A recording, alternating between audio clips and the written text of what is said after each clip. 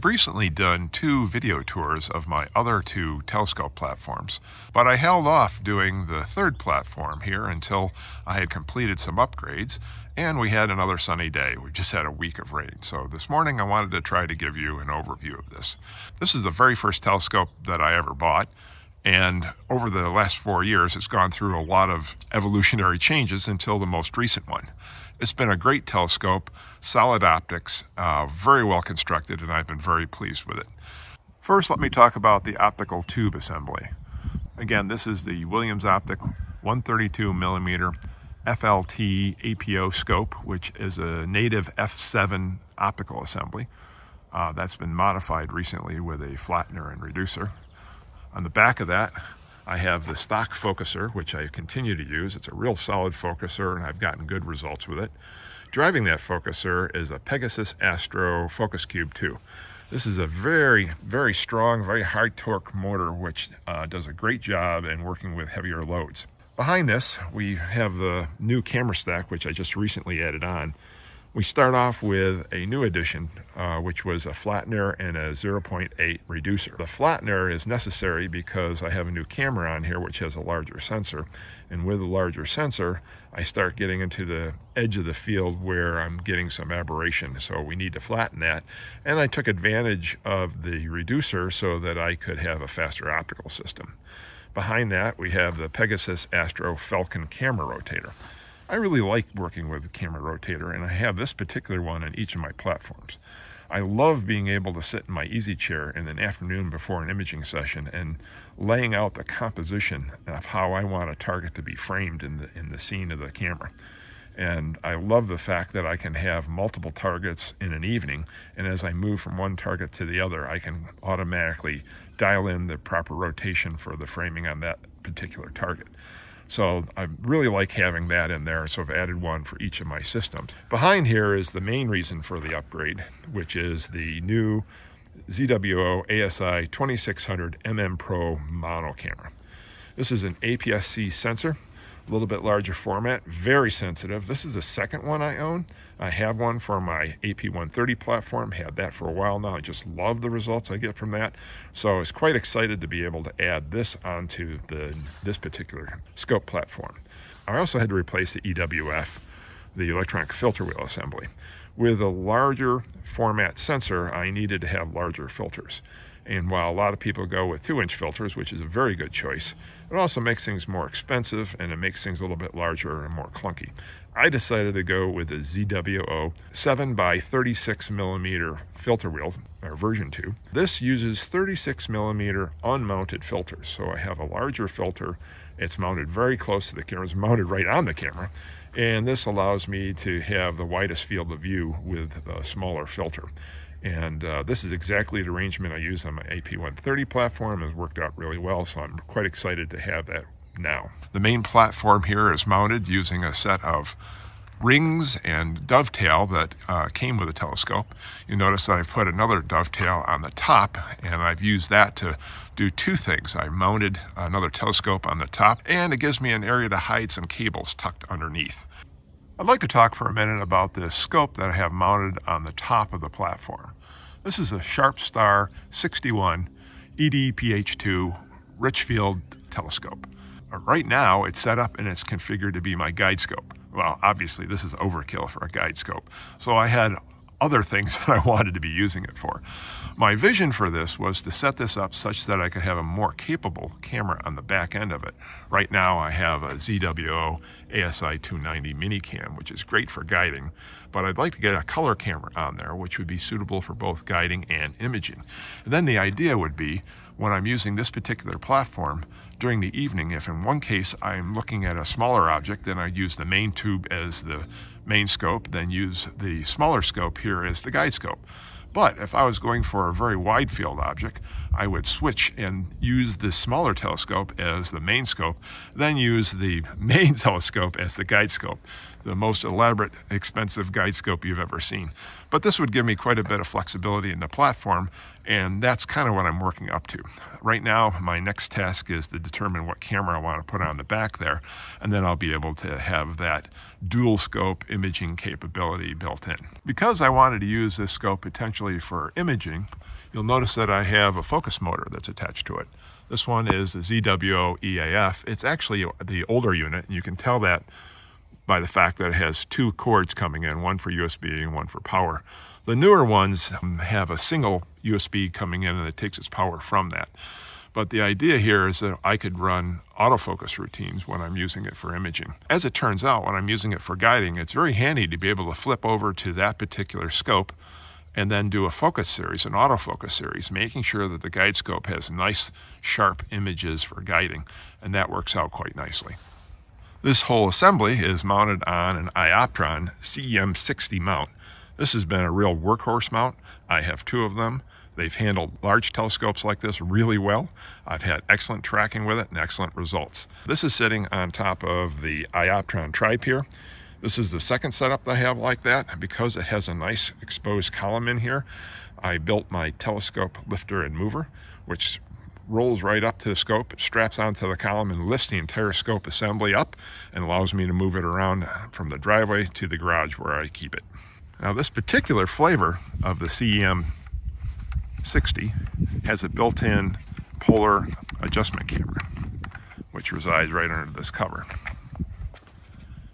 This is the iPolar version. It's the only one that I have. All the other ones are PoleMasters, But I'm pretty happy with the way it works. It does what it needs to do. It's simple to set up, and I get good polar alignment setups with it, and I get very consistent results that way.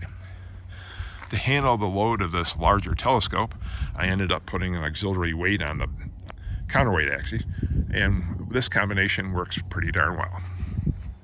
Now, in order to handle Z-axis balancing, I got this dovetail mount from ADM that has a nice horizontal bolt. And right now I'm using a stack of washers, which is the only weight I really needed. This bolted on off to the side handles my Z-axis balancing quite nicely. As you can imagine, with this many devices, there's a lot of cables that have to be managed. There's cables that are handling the power distribution and there's cables handling the USB. And my secret for handling this is a couple of things. First off, with this extra plate on the top, this gives me a void underneath where I can coil excess cables and hide them. And right now, in order to mask this off a little bit and to hold them into place, I just got some uh, inch and a half wide elastic bands. Uh, this is something you can just pick up at Amazon. I wrap it around the base of the plate, and that does two things. It holds the cables in so that they're kept nice and tidy, and it sort of obscures the mess of cables that are under there, so that works out pretty well. The rest of the cables are very carefully uh, cable managed. They're put into various bundles. And they're fed around in such a way that they won't cause problems when the scope is in movement. Over here I have one cable that has to be a little bit loose here because I have to allow for the rotation of the entire camera platform here with the rotator. So I have this, which gives me just enough flex in there to be able to handle the rotation without having too many cables which are getting in the way. Key to this platform are these two boxes that are mounted on the top here. This particular box here is a Pegasus Astro Pocket Power Box. This is basically used for a subset of my DC power distribution, and it also is being used to handle my uh, dew strips. Right now I have two coming off right here, which are connected to the dew strip on the smaller scope and the dew strip on the larger telescope. On the back here, you'll see that I have an environmental module that's mounted there. Uh, that allows the power box to manage almost all aspects of the dew strip warming as needed during the evening without my having to think about it. On the other side, you can see there are several power feeds that are coming off here. There's an input feed for power, and then there's the four outputs. These four power outputs are used to drive the two focus motors that I have, the Falcon rotator, and finally, it provides power for this particular box here, which I haven't talked about yet. But this is a StarTech industrial strength USB 3 hub. And basically it's powered and every device which is USB is plugged into this. I'm using up every slot in here. And this is handling the control, this is handling the control of USB. One line comes out of this and that one line is here. This goes to the laptop, which will be driving everything. The power is coming from a 30 amp solid state switching uh, power supply. I use it to run multiple scopes. I have a power line coming in. We have Anderson power pole distribution strip, which handles some of my power distribution. In that case, the power comes off of here and it feeds into the telescope mount itself. It also runs power up to the pocket power box. And of course, we have a line coming off for the feed. As I said, this was the very first telescope that I ever bought. It first started off as the tube assembly with a very simple guide scope and a very simple one-shot camera. And over time, this evolved by my putting the top plate on, by uh, changing out the the scope on top so that I have the option of doing wide field shooting versus guiding. I added on first a rotator, then I added on my first mono camera, which was an ASI 1600 mm Pro. And now with the most recent upgrade, what I've ended up doing is changing out this entire stack. And between the flattener and reducer, the more capable and larger format camera and the larger filter assembly, I now have a more capable system, a little bit shorter focal length, but a faster uh, optical system, which I said I think will serve me quite well. Even though I've hung a lot of instruments off this particular platform, it's still one of my favorite platforms. It's pretty compact. The cables are reasonably managed and I don't have a problem with that. I think there's something kind of nice about the gold color with the Williams optics scope and the red that comes in from the ZWO camera and the Sharpstar telescope on the top, which makes this look kind of snazzy. And I get a lot of reaction from this from people who see it. My other larger scope platform, the AP130, is more of a traditional old school scope. And so it's all pretty much black and white and doesn't have quite the, the personality, if you will and people tend to really enjoy looking at this scope and uh, and seeing it and I and I hope you've enjoyed seeing it today as well. I've talked about my telescope lifter and mover and I thought as I was putting the scope away I'd just show you quickly what that looks like. Basically I have two large scope platforms that both use the CEM60 mount and they're both mounted on a tri-pier. So working with a friend of mine Rick Albrecht he designed and I built this device, which is built off of a two-wheeler. And basically it's a platform that can slide up right underneath the telescope. I'm gonna try to hold the camera one-handed and move this a bit. And when it's in its final position, I have a reinforced shelf that goes underneath it. And I have a docking collar in here.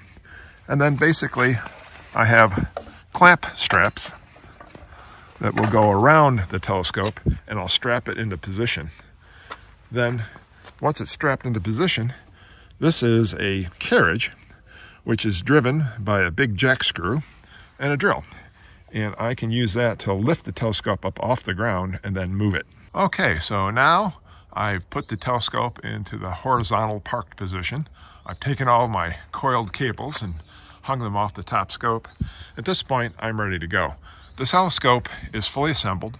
It's fully balanced. It's ready to go. I can now that it's picked up like this, I can roll this into the garage, drop it for storage. When I'm ready to do a night of photon capture, I can roll it out and I can drop it on the driveway in very precise position. And all I have to do is redo the alignment a little bit and I'm ready to go.